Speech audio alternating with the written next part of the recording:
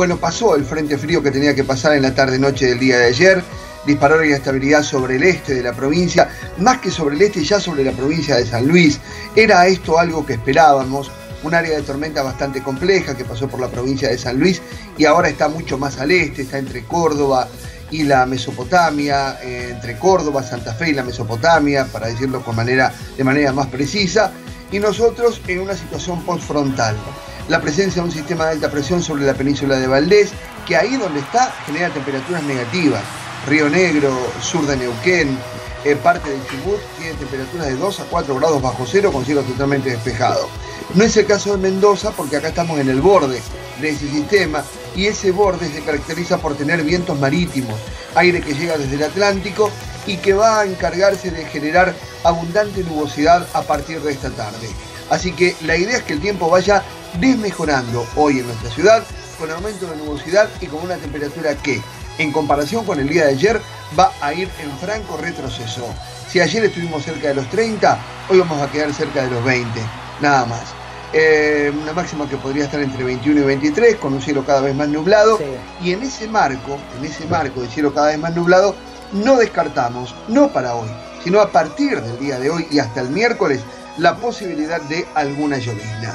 Por lo tanto, se viene una semana cuya primera mitad va a transcurrir con abundante nubosidad, con alguna mejora temporaria, pero con abundante nubosidad, con temperaturas mucho más moderadas, aquellas que hemos tenido a lo largo de la semana pasada, van a estar más cerca de los 20 que de los 30 grados, primera mitad de la semana, insisto, y la posibilidad de alguna llovizna.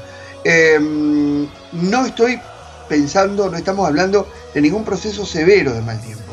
Estamos hablando de ese límite eh, difícil de precisar entre lo que es el cielo cubierto y el cielo cubierto más alguna llovizna cuyas características principales serían las de ser débiles, breves y muy sectorizadas. Así que más que nada vamos a empezar a tener cielos cubiertos desde el día de hoy hasta el miércoles con temperaturas más moderadas. Yo creo que esta es la hipótesis de máxima para la primera mitad de esta semana. Eh, ahí estamos, Pedro. ¿Querés que hagamos un repaso de los números? Dale, dale, dale. La semana? Lo que esperamos es eso que te comentaba. El tiempo desmejorando, con nubosidad en aumento, temperatura en descenso, algo ventoso en la cordillera occidental, una máxima que va a estar entre 21 y 23.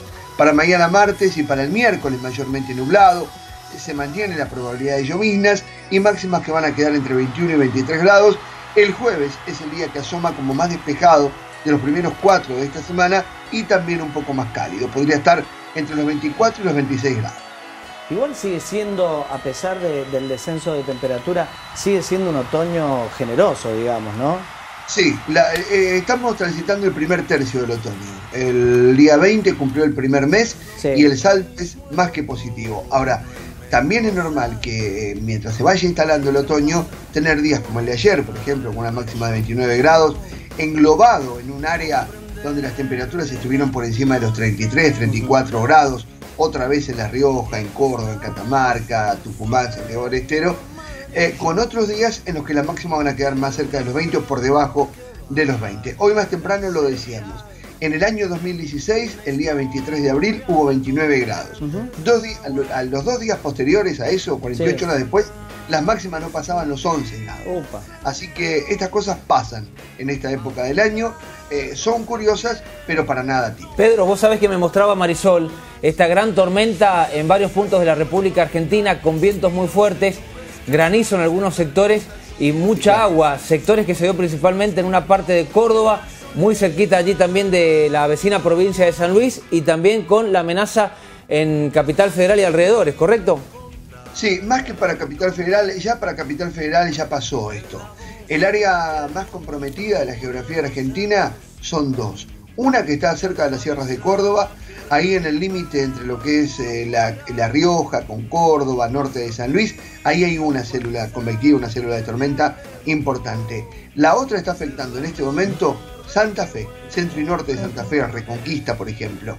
Norte de Entre Ríos, Corrientes y parte del Chaco se dirige hacia la provincia de Misiones y es efectivamente un proceso severo de mal tiempo, donde hay tormenta eléctrica y donde hay tormenta eléctrica hay granizo, hay ráfagas de viento fuerte, y te digo que esa situación en ese lugar hasta puede llegar a disparar la presencia de actividad tornádica. Así que ese es el, índole de, inestabilidad que se está viviendo en el noreste de Argentina a propósito del frente frío que también pasó por acá en el día de ayer.